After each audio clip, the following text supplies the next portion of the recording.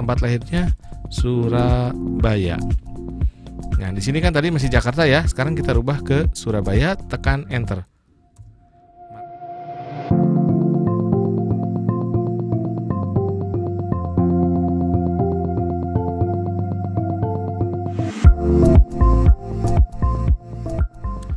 Selamat datang kembali rekan-rekan semua di channel Cara Tutorial Teknologi.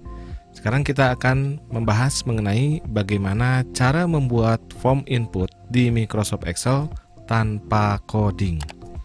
Namun sebelumnya jangan lupa saya ingatkan kembali untuk subscribe, like, share, atau komen jika ada pertanyaan dan mohon doanya mudah-mudahan channel ini semakin membawa manfaat kepada Anda semua. Oke, kita lanjutkan Nah, di sini saya sudah menyediakan sebuah tabel tentang data siswa. Biasanya kalau kita menginput tabel seperti ini secara manual ya. Ini biasanya nomor induk saya coba 1001 nama siswanya Ahmad, kemudian jenis kelaminnya laki-laki, tempat tanggal lahir lahirnya Bandung, tanggal lahirnya misal 1 Januari 2000, alamatnya Bandung Timur. Nah, ini cara yang biasa kita gunakan. Nah, gimana caranya supaya lebih cepat, lebih efektif?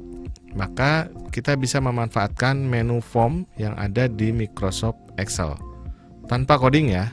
Sekali lagi tanpa coding. Caranya bagaimana? Kita harus menampilkan dulu menu form yang sudah disediakan di Microsoft Excel. Nah, kebetulan di Excel yang saya pakai di sini belum ada. Caranya silakan Anda klik simpan saja e, kursor di sini ya, sembarang tempat di toolbar. Kemudian Anda pilih menu Customize the Ribbon. Oke. Muncul tab Excel Options. Nah, kemudian Anda pilih di sini Quick Access Toolbar. Selanjutnya pada bagian ini pilihannya kan di sini masih Popular Comments silakan Anda pilih comments not in the ribbon. Oke, seperti ini. Kemudian pilih menu form. Anda cari form dari huruf F. Form. Nah, ini.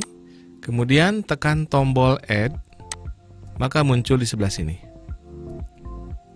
Setelah muncul, kemudian Anda tekan tombol OK. Maka Menu form sudah muncul di quick access toolbar di pojok kiri atas di sini. Oke, selanjutnya bagaimana cara menggunakannya? Anda blok terlebih dahulu header dari tabel Anda. Kemudian Anda klik menu form di sini, klik, maka muncul tab untuk input formnya. Nah, di sini data yang pertama tadi Ahmad sudah muncul ya. Kemudian untuk menambahkannya, silakan Anda klik tombol New. Klik. Nah, kita isi siswa yang kedua, nomor induknya 1002, namanya Novi, jenis kelamin perempuan, tempat lahir Jakarta misal, tanggal lahirnya 1 Februari 2000, alamatnya Jakarta Utara. Selanjutnya, Anda tinggal tekan tombol Enter maka datanya langsung muncul di sebelah sini ya. Oke. Berikutnya, nah di sini sudah kosong lagi nih menu atau form isiannya. Silahkan Anda bisa input lagi. Misal saya coba input lagi 1003. Nama siswanya misalkan Iwan, jenis kelaminnya laki-laki, tempat lahirnya Bandung, tanggal lahirnya 1 bulan 3 tahun 2000 alamatnya Bandung Selatan. Kemudian Anda tekan enter. Dan seterusnya ya. Nanti datanya Anda bisa dengan cepat input data sampai ke bawah. Nah, misalkan Anda ingin melakukan e, perubahan atau edit.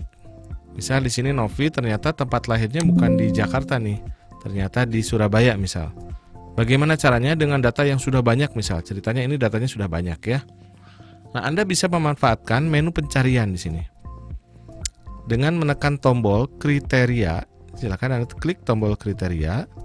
Kemudian Anda silakan lakukan pencarian mau berdasarkan nomor induk misal, mau berdasarkan nama atau jenis kelamin dan seterusnya. Misal saya ingin mencari berdasarkan nama siswanya tadi. Novi, kemudian Anda klik tombol Find Previews. Klik. Nah, muncul data yang punya Novi tadi. Kemudian Anda silakan edit langsung di sini. Misal tempat lahirnya Surabaya. Nah, di sini kan tadi masih Jakarta ya. Sekarang kita rubah ke Surabaya, tekan enter. Maka tempat lahir dari siswa yang kedua ini sudah berubah menjadi Surabaya. Itu cara edit. Nah, kemudian misalkan siswa yang pertama Ahmad ini sudah tidak lagi berada di sini, maka kita ingin melakukan penghapusan.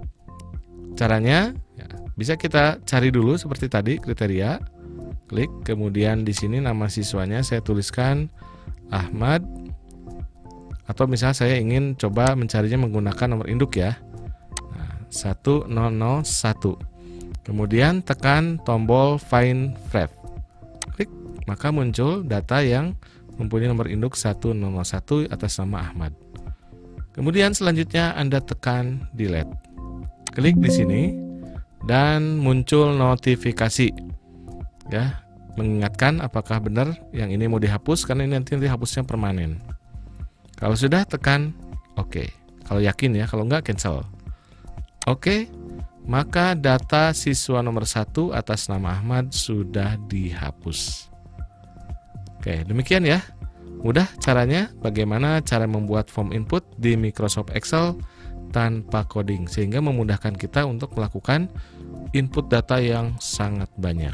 Baik, semoga bermanfaat. Selamat mencoba. Sampai berjumpa pada video berikutnya. Terima kasih.